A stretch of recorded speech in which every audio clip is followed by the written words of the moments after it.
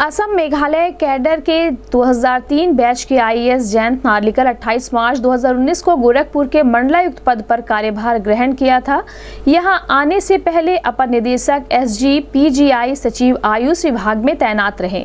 4 जून को प्रदेश सरकार ने इनका तबादला करते हुए मुख्य कैडर में वापस भेज दिया। प्रतिनियुक्ति पर यूपी आए जयंत नार्लिकर का प्रतिनियुक्ति चार जून को समाप्त हो गया है।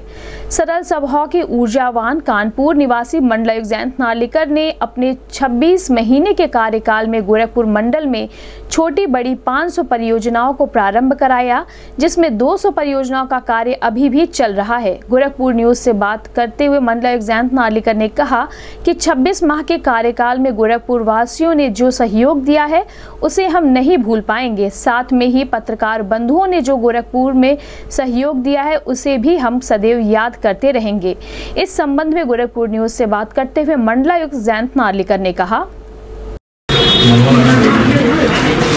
कुछ करना बाकी रहा। देखिए इंग्लिश में कहते हैं स्काई इज़ द लिमिट और मुझे लगता है जो गोरखपुर इथॉस है गोरखपुर मंडल और यहाँ का जनमानस की जो अपेक्षाएँ हैं और जो माननीय मुख्यमंत्री जी की का संकल्प है उस हिसाब से करने को अभी भी बहुत कुछ है।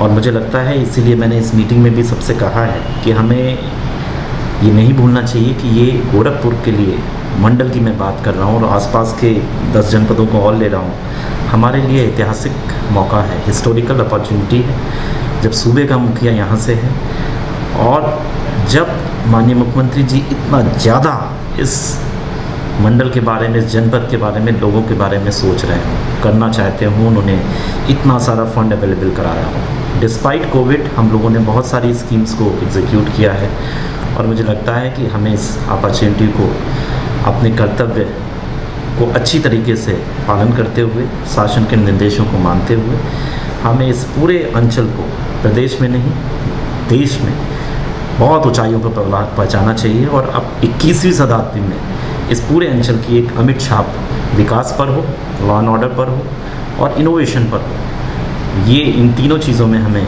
अपना नाम छोड़ना चाहिए। सर, एक तरफ़ विकास और एक तरफ़ कोविड कितना चैलेंज था काम करना मुझे लगता है कि जो ह्यूमन नेचर है ह्यूमन पर्सनालिटी है, वो चैलेंज के सामने ही उसका रियल टेस्ट होता है और निखर के आती है। जैसे कि सोने के बारे में कहा जाता है कि जब सोना आग में तपता है, तभी वो प्रखर होता है और उसकी वैल्यू बढ़ती है। और वैसे ही मुझे लगता है कोविड था। कोविड के चैलेंज के सामने शासन के निर्देश के क्रम में पूरा जिला प्रशासन, मंडल स्तर का प्रशासन उस चैलेंज को एक्सेप्ट करते हुए जिस तरह से आगे आया है, लोगों की जान बचाई है। और विकास के कार्य की, को भी अनवरत हमने जारी रखा है। मुझे लगता है ये काफ़ी अच्छा कार्य हुआ है और भी संभावनाएँ हैं जिसे हम इसे और अच्छा ले जाएँगे। और मुझे लगता है जिस तरह की तैयारी है, कोविड की थर्ड वेव में बहुत ज़्यादा हमें समस्या इस संचल में नहीं लगती है और अब हमें विकास की जो भी हमारी योजनाएँ चल रही हैं, इनको नेक्स्ट छः महीने में कंप्लीट कर देना चाहिए। सर, लोकसभा चुनाव से लेकर पंचायत चुनाव तक काफ़ी बार करना पड़ा। चार ज़िले थे, चुनाव विभाग को भी था उसमें कितना चैलेंज था? बिल्कुल है, क्योंकि जब कोविड की सेकेंड वेव आई, वो अब थोड़ी सी अप्रत्याशित थी और हमें नहीं लगता था कि इतनी जल्दी आएगी और क्योंकि इलेक्शन अनाउंस हो चुके थे, पंचायत चुनाव तो उनको बीच में रोकना भी बहुत दिक्कत होता है। और इसलिए उस भीड़ को कोविड के संक्रमण से बचाव संबंधी जो भी निर्देश हैं, उनके अनुपालन के साथ कराना चैलेंजिंग होता है बट टीम ने अच्छा कार्य किया है, आप लोगों ने खुद देखा है। और मैं एक चीज़ और कहना चाहूँगा कि मीडिया का इतना अच्छा सपोर्ट मुझे किस कभी भी अपने 18 साल के कैरियर में नहीं मिला है। बहुत सकारात्मक मीडिया है।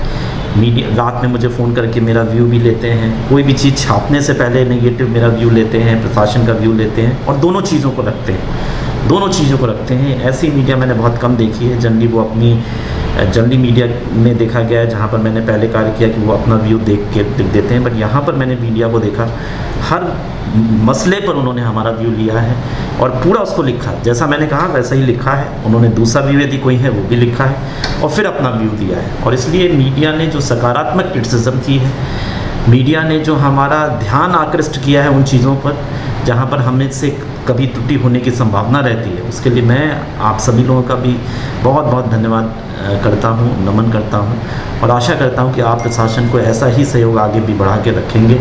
आप चतुर्थ स्तंभ हैं और आपकी सकारात्मक क्रिटिसिज्म के बिना विकास संभव नहीं है, आगे बढ़ना संभव नहीं है। तो मैं आप सभी को भी धन्यवाद देता हूँ। सर, पर्यटन की दृष्टि से कितना विकास हुआ है इस क्षेत्र में?